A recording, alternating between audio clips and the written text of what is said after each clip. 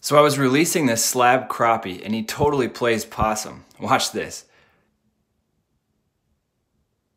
And there he goes.